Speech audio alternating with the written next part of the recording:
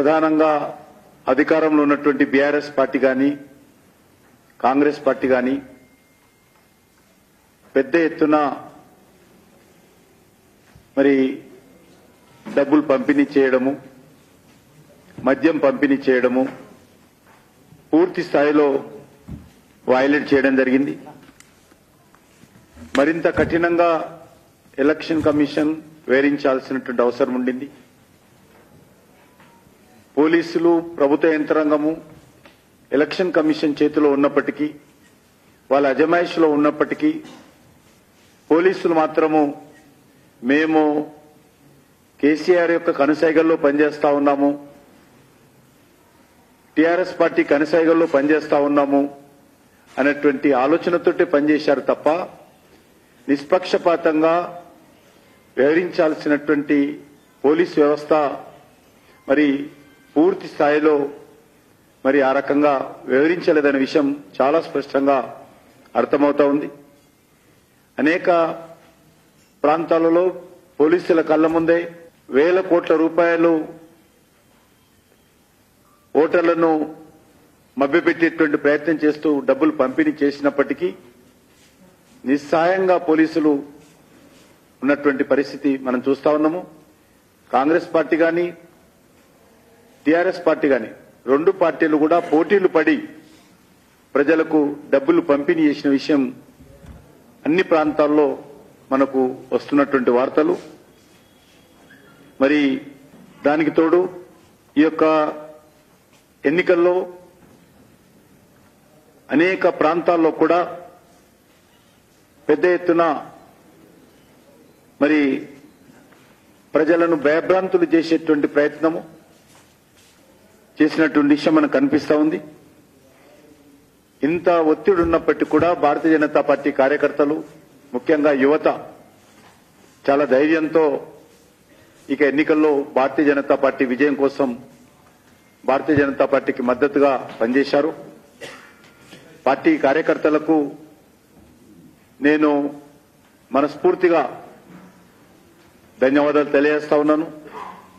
మొక్కవని ధైర్యంతో పార్టీ కార్యకర్తలు ఒక దిక్కు ప్రభుత్వ యంత్రాంగము పక్షపాతంగా ఉన్నప్పటికీ టీఆర్ఎస్ పార్టీ నాయకులు మరి గుండాయిజంతో వివరిస్తున్నప్పటికీ కాంగ్రెస్ పార్టీ నాయకులు కూడా అదేవిధంగా మరి ఎన్నికల ప్రచారం చేస్తున్నప్పటికీ కూడా ఏ మాత్రం తగ్గకుండా భారతీయ జనతా పార్టీ కార్యకర్తలు చాలా ధైర్యంతో మరి ఎలక్షన్స్లో పనిచేశారు. వారందరికీ కార్యకర్తలందరికీ ధన్యవాదాలు తెలియజేస్తున్నాను. కొన్ని గ్రామాలలో టోటల్గా యువతని మరి పార్టీ పక్కన నిలబడి పార్టీ పక్షాన నిలబడి పోరాటం చేశారు.